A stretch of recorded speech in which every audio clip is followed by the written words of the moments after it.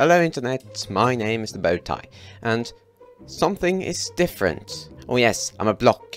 You see, thanks to a not YouTuber, I managed to make something in Minecraft called a particle accelerator, and I wanted to show this to you. This is the YouTuber that made this possible, and his name is Tango Tek.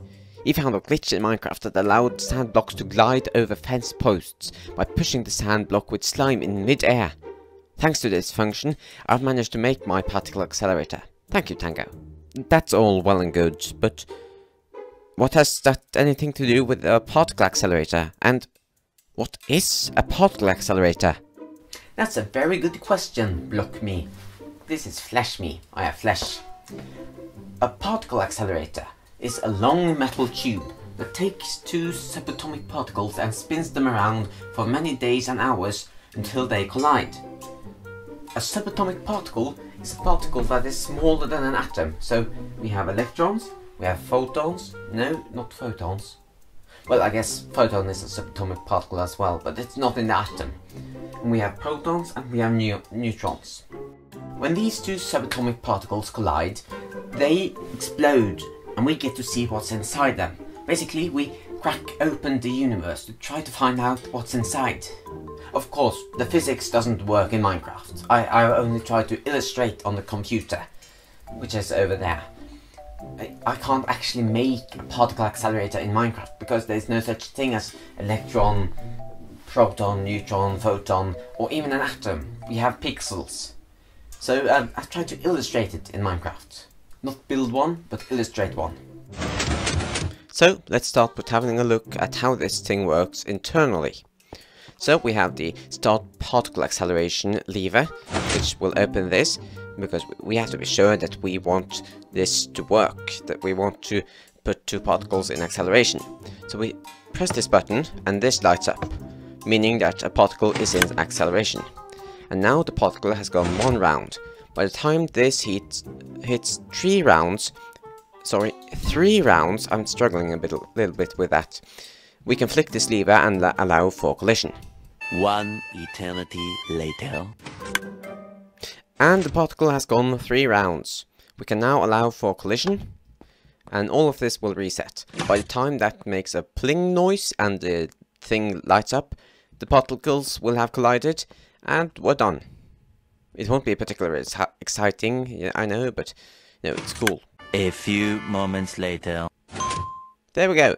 It's it's it's done. It's it has done its job, and well, it's quite boring actually, because you know it doesn't it doesn't do anything. We don't we just we just stand here, flick levers, and press buttons.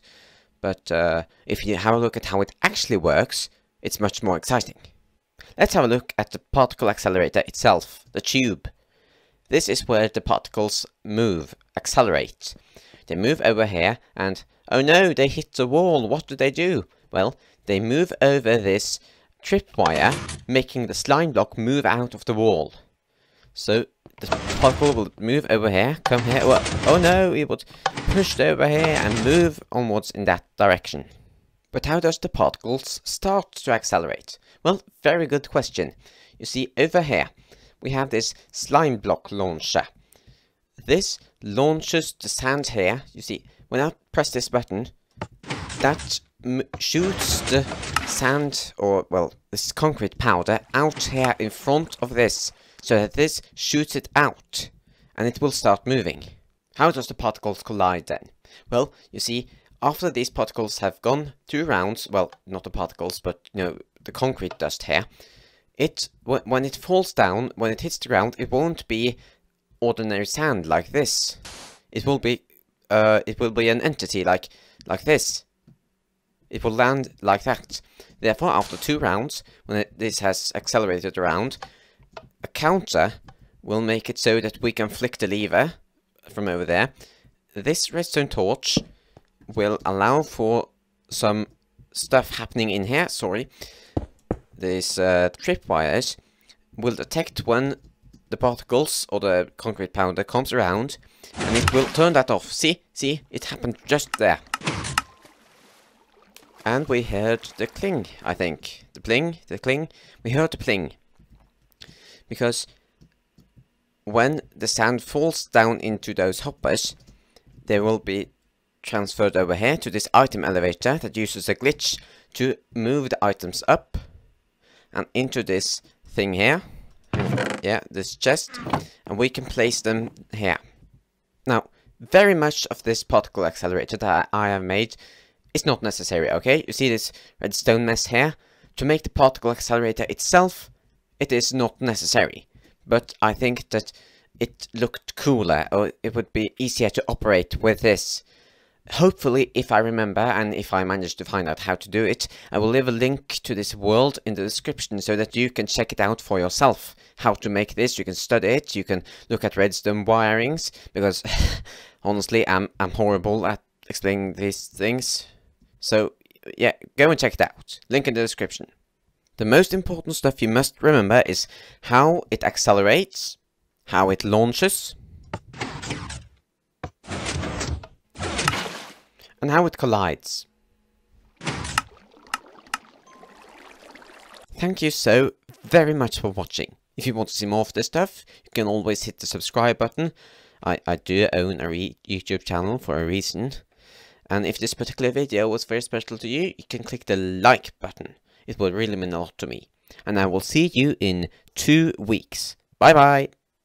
Don't forget to vote for your favorite element in the monthly element contest down in the comment section. Who knows, maybe your favorite element will be the next element of the month.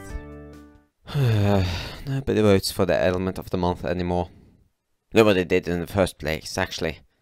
Just find the periodic table nearby you and just choose a random element from the periodic table and, and submit it in the comment section. It's not that difficult, please.